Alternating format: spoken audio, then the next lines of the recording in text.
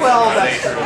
What is that thing? Every time an archaeologist discovers another um, clay pot that contained beer a thousand years ago, they go send guys in to like reconstruct the chemical composition.